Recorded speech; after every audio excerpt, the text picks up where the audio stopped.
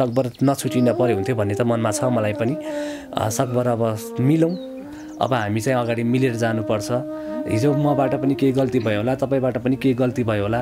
त्यो कुराहरू सबै बिर्स्यौँ र हामी अब मिलेर जाउँ न त भनेर आउनुभयो भने म फेरि आफ्नो श्रीमती हो होइन? आफ्नो छोरी छ। सकभर उहाँहरूसँग छुट्न परोस् भन्ने त मलाई पनि छैन। बानेजेरीलाई एकदमै माया पनि गर्छु होइन? अझै पनि आई लभ यु भन्न चाहन्छु। गल्ती मान्छेबाटै हुन्छ। विगतमा भएका गल्तीहरूलाई बिर्सिदिउँ मिलेर अगाडि बढौँ भनेर जेरीले भन्नुहुन्छ भने आफ्नै श्रीमती हो छोरी छिन् छोरीको भविष्यको लागि भए पनि म मुद्दा फिर्ता लिन तयार छु। केही समय अगाडि मात्रै डिभोर्स गरौँ भनेर अदालतसम्म मुद्दा दर्ता गर्न पुगेका शङ्कर छेत्री अहिले भने जे भयो भयो बबिताले चाहन्छन् भने म जति बेला पनि स्वीकार्न तयार छु भन्दै मिडियामा आएका छन्। तर अलिकति उहाँले आफूलाई कन्ट्रोल चाहिँ गर्नुपर्छ है। सम्बन्ध टिकाउने हो भने अलिकति कन्ट्रोल गरेर मेरा कुराहरू पनि सुन्ने गरेर अनि दुईजनाले सरसल्लाह गरेर अगाडि बढ्ने तरिकाले उहाँ आउनुभयो भने म त अझै पनि राजी नै छु। मैले मुद्दा हाले तापनि त्यो त्यहाँ त्यो डिसमिस गर्न पनि मिल्छ फिर्ता लिन पनि मिल्छ त्यो व्यवस्था हुन्छ सबै। विगत डेढ वर्षदेखि बबिता माइतीमा बस्दै आएको श्रीमानसँग सम्पर्कमा निकै कम आउने गरेको सम्पर्क भए पनि झगडा गर्ने गरेको पनि शङ्करले बताएका छन्। अब दर्शकहरूलाई थाहा छैन उहाँ विगत डेढ वर्षदेखि माइतीमै हुनुहुन्छ। उहाँ माइतमा गएर बस्ने मसँग सम्पर्कमा नआउने होइन? अब सम्पर्कमा आउँदा पनि जहिले पनि झैझगडा मात्रै हुने। बबिता बानियाको माइती पक्षको भने अब मिलेर खासै राम्रो देख्दिन जस्ता अन्तर्वार्ता बाहिरिएका छन्। अब चाहिँ सम्भवतः अब मिलेर पनि मैले त खासै राम्रो देख्दिनँ। यस्तो भनिरहँदा कतिपय दर्शकहरू अन्यलमा पर्नुभएको छ भने कतिपयले त शङ्कर र जेरी डिभोर्स रोज्नुको कारण माइती पक्षको पनि रहेछ समेत भन्नुभएको छ। यसो हेर्दा यी दुवै जोडीबीच माया अझै पनि उत्तिकै रहेको ठम्माउन सकिन्छ। के अब बबिता र शङ्करले मुद्दा फिर्ता गर्लान् त? उनीहरूको सम्बन्धमा चिसोपन आउनुको कारण बबिताको माइती पक्षको पनि हो त? दर्शकबिन आउनुहोस्। यस भिडियोमा यसैबारे विस्तृतमा चर्चा गर्नेछौँ। भिडियो अन्तिमसम्म हेर्नुहोला। साथै यस च्यानललाई सब्सक्राइब गरी हामीसँग जोडिनुहोला।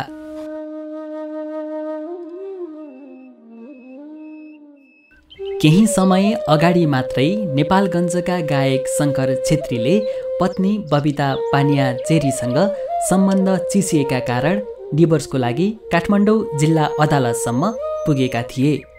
सिफारिसमा बेहोरा नमिलेपछि सिफारिस मिलाएर ल्याउनु भन्दै अदालतले दुवैजनालाई फर्काइदियो। लाइभ दोहोरीबाट निकै चर्चा पटुलेका यी जोडी सबैले मन पराएका थिए तर एकाएक डिभोर्सको खबरले सबैको चासो यी जोडीतिर तानियो।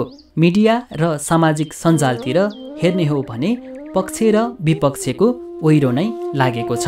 हाम्रो यो जुन श्रीमान श्रीमतीको सम्बन्ध छ यसलाई चाहिँ हामी दुवैजनाले सल्लाह गरेर हामी टुङ्ग्ने आउने प्रक्रियामा अगाडि बढिरहेका छौँ। बबिताको जन्मदिनमा लिएको एक अन्तर्वार्तामा अब सँगै हुन सकिँदैन भनेका शङ्करले अहिले भने बच्चाको लागि भए पनि सोच्नु पर्यो विगतमा भएका गल्तीहरूलाई दुवैजनालाई बिर्सने हो भने म मिलेर बस्न तयार छु जेरीलाई अझै पनि माया गर्छु र स्वीकार्छु। भनेका छन्। बाने जेरीलाई एकदमै माया पनि गर्छु होइन? अझै पनि आई लभ यु भन्न चाहन्छु। अब हामी चाहिँ अगाडि मिलेर जानुपर्छ। हिजो मबाट पनि केही गल्ती भयो होला तपाईँबाट पनि केही गल्ती भयो होला। त्यो कुराहरू सबै बिर्स्यौँ र हामी अब मिलेर जाउँ न त भनेर आउनुभयो भने म फेरि आफ्नो श्रीमती हो होइन? आफ्नो छोरी छ। सकभर उहाँहरूसँग छुट्न परोस् भन्ने त मलाई पनि छैन। आखिर सम्बन्ध किन चिसेको थियो भनेर प्रश्न गर्दा उनले भनेका छन् विवाह भइसकेपछि श्रीमतीको जिम्मेवारी पुरा गर्न सक्नुपर्छ। व्यवहारिक तथा लेनदेनको कुरामा श्रीमानसँग सरसल्लाह हुनुपर्छ पारदर्शिता हुनुपर्छ। चर्चामा छु भन्दै घमण्ड गर्नु हुँदैन। बुढाबुढी भएपछि सामिप्यता हुनुपर्छ सँगै बस्नुपर्छ। कसैको श्रीमती भइसकेपछि एउटा बच्चाको आमा भइसकेपछि कुनै घरको बुहारी भइसकेपछि उहाँका पनि केही दायित्वहरू हुन्छन् होला केही कर्तव्यहरू हुन्छन् होला। ती कुराहरूलाई मनन गरेर अझै पनि उहाँ मिल्छु भनेर आउनुहुन्छ भने म पनि मिल्नको लागि तयार छु होइन? भने सबभन्दा त कुराहरू लुकाउनु भएन प्र पारदर्शिता हुनु पऱ्यो क्या सम्बन्धमा पारदर्शिता चाहिन्छ। एउटा श्रीमान श्रीमती भइसकेपछि कुनै पनि कुराहरू लुकाउने छिपाएको महसुस मलाई हुन भएन। मैले पनि त्यस्तो लुकाएको छिपाएको महसुस उसलाई गराउनु भएन होइन? बबिता बानिया विगत डेढ वर्षदेखि माइतीमा बस्दै आएको मसँग सम्पर्कमा कम आउने आए पनि झगडा मात्रै गर्ने मसँग सरसल्लाह नै नगरी माइती पक्षसँग मिलेर चाहना रोदिगर खोल्नुभयो बाहिर बाहिर बस्ने साथीहरूसँगै रमाउने मेरो कुराहरू नसुन्ने सम्झाउँदा नसम्झने आफ्नो श्रीमती यसरी आफूभन्दा बाहिर बाहिर बढी बसेपछि मलाई शङ्खादा लागिहाल्छ नै। त्यही त हो नि आफ्नो श्रीमती आफूसँग भन्दा धेरै बाहिर बस्छ भनेपछि एक किसिमको मान्छेलाई शङ्का पनि हुन्छ होइन? अब विचारहरू नमिल्ने तिमी माइतीमै बस्ने हो छुट्टा छुट्टै नै बस्ने हो भने कानुनी रूपमै बसौँ भनेर मैले नै सरसल्लाहमा मुद्दा दर्ता गरेको हो। भनेका छन्। तिमी माइतै बस्ने हो माइतै जाने हो भने ठिक छ कानुनी रूपमा हामी छुट्यौँ अलग अलग बसौँ। तर मेरो चाहना होइन तर तिम्रो व्यवहार यस्तो भयो। शङ्करको कुरालाई आधार मान्ने हो भने हुन पनि हो। एउटा विवाहित भइसकेपछि घराइसी जिम्मेवारी हुन्छन् नै त्यो त पुरा गर्नुपर्छ। अझ डेढ डेढ वर्षसम्म माइतीमै बस्ने माइतीसँगै मिलेर आफ्नो श्रीमानसँग सरसल्लाह नै नगरी दोहोरी साँझ खोल्नु श्रीमानसँग सम्पर्कमा नआउनु एउटा शङ्काको विषय त भइहाल्छ नै। अब छुट्टै माइतीहरूसँगै मिलेर दोहोरी साँझहरू चलाउन थाल्नुभयो। त्यसपछि उहाँको बसाइ हिमचिममै धेरै जसो उता बाहिर बाहिर नै हुन थाल्यो। मसँग भन्दा सरसल्लाह पनि उतैतिर हुन थाल्यो। यस्तै कारणले सम्बन्धमा उतार चढाव आएको देख्न सकिन्छ। बबिताको माइती पक्षले अब मिलेर पनि खासै राम्रो हुँदैन भन्नुभएको छ।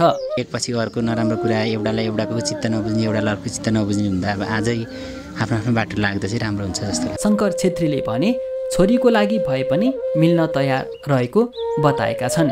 यदि डिभोर्स नै भयो भने पनि छोरीको रेखदेख शिक्षा स्वास्थ्य बाबुको अंश पाउने जस्ता कुराहरू शङ्करले नै बेहोर्ने भनिएको निवेदनमा पनि उल्लेख रहेको जानकारी दिए। हामीले मैले प्रष्ट रूपमा पेपरमा खुलाएको छु कि जुन छोरी छ हाम्रो छोरीको लालन पालन त्यसपछि उसको शिक्षा दीक्षा स्वास्थ्य र बाउसँगबाट पाउने जुन अंश हुन्छ छोरीले त्यो बाउसँगै निहित हुने र बाउले नै सबै कुरा हेर्ने भनेर नै मैले प्रष्ट खुलाएर त्यो कागजमा त्यसरी खुलाएको छ। धेरैजनाले जेरीसँग पैसा देखेको कारण बिहे गर्यो युज गर्यो कामदाम देखेर बिहे गर्यो भन्नुभएको छ। तर जति बेला मैले जेरीसँग सङ्गत गरेँ त्यति बेला जेरीले फेवारोदी घरमा काम गर्नुहुन्थ्यो र उहाँको तलब दस हजार थियो। कविता बानियाजेरीसँग जति बेला मेरो सङ्गत भएको थियो उहाँ फेवा दोहोरीमा काम गर्नुहुन्थ्यो। उहाँको महिनाको दस हजार स्यालेरी थियो। त्यो बा त्यो बाहेक उहाँको केही पनि आम्दानी छैन। धेरैजना दर्शक श्रोताहरूले चर्चामा आउनको लागि डिभोर्सको हल्ला फिजाएको रहेछ नाटकै गरेको रहेछ समेत भन्दा शङ्करले प्रतिक्रियामा भनेका छन् त्यस्तो होइन। एक आपसमा समझदारी नभएको बुढाबुढीको सामिप्य नभएको एक आपसमा कुनै पनि लेनदेन तथा व्यावहारिक कुराहरू सरसल्लाह बिनै हुने भएको र धेरै माइतीमै बस्ने भएकोले डिभोर्स रोज्न बाध्य भएको हो पनि भनेका छन्। यो होइन आफ्नो जिन्दगीको सम्बन्ध नै सकाएर कोहीलाई पनि चर्चा बटुलौँ भन्ने कसैलाई पनि हुँदैन। त्यो हुँदै होइन त्यो एकदम गलत कुरा हो। उहाँले आफ्नै माइतीहरूसँग मिलेर खोल्नुभयो। एउटा व्यावसायिक रूपमा सफल हुनु त राम्रो कुरा हो। होइन त्यसको लागि पनि अब धेरै टाइम दिनुपर्ने भयो कि के भयो उहाँलाई? मसँग सरसल्लाह नै भएन कि पछिल्लो समयमा? कुनै पनि कुराहरूमा सरसल्लाह नहुने घरमा। मसँग सरसल्लाहहरू केही पनि नगर्ने। त्यसपछि मसँग भन्दा धेरै माइतीतिरै गएर बस्ने बाहिर बाहिर डुल्ने साथीभाइसँग मात्रै रमाउने। अनि मलाई जुन किसिमको श्रीमती भइसकेपछि त श्रीमान भइसकेपछि एकअर्कामा एक एउटा जुन आशा हुन्छ एक्सपेक्टेसन हुन्छ त्यो कुराहरू केही पनि पुरा नहुने। दर्शकबिन आजको भिडियो तपाईँलाई कस्तो लाग्यो? आफ्नो प्रतिक्रिया दिन नभुल्नुहोला। साथै नयाँ भिडियोको लागि यस नेपालै टिभीलाई सब्सक्राइब गरी हामीसँग जोडिनुहोला। भन्दै आजको भिडियो यहीँ अन्त्य गर्छौँ। नमस्ते।